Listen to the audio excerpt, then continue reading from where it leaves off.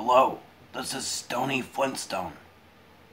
He was the one time adopted son of Fred and Wilma Flintstone.